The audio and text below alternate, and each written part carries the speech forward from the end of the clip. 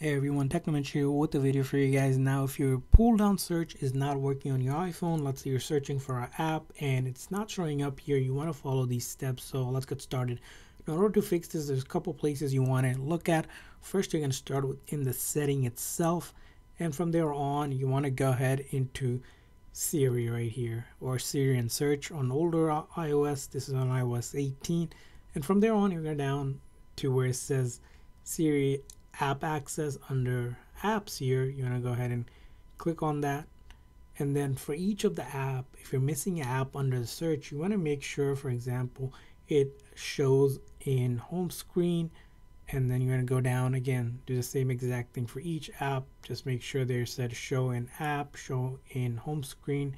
For some reason if this is turned off when you search it that app specifically won't so you need to go down if you're missing a certain app on the search not coming up, just make sure that it shows show on home screen as option. This shouldn't be turned off, but in scenario it is, you need to do it.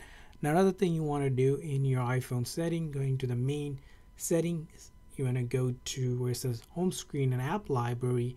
You want to ensure that it says show in home screen and I also recommend turning on this one if you want to see a notification badge you don't have to this one but again this one you want to make sure show on home screen for the search is turned on. Now if you're still not seeing or getting that pull down search not to work or it's not recognizing the app the next thing you want to ensure that your phone has at least 6 gigs available. Now in order to check that in the settings you can go to general and then scroll down under iPhone storage here. And here it's going to tell you how much gig you have available or storage you have available as you can see I have 237 available. Now let's say you have under 6 gigs here available.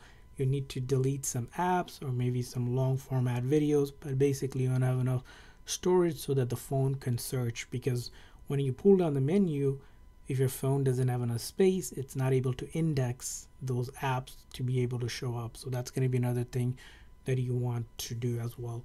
Finally you're going to follow this step which is you're going to quickly press and release the volume up quickly press and release the volume down and then hold on to the side button. So it's volume up volume down and then I hold on to the side button. And what happens when you do this is the phone is going to completely shut down once the screen goes completely black. And we're going to keep on holding that until you see the Apple logo appear.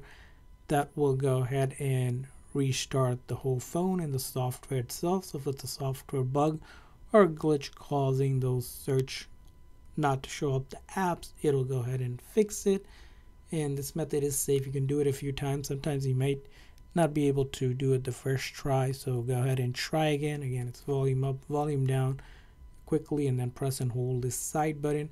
And then once you're back on you're going to go ahead and get back on your phone and then pull down the search. And hopefully whatever your app you're searching for this time you're able to go ahead and find that on the search itself and I hope this video was helpful. If so, please consider hitting like and subscribe button for more tips and tricks for your iPhone. See you guys next time.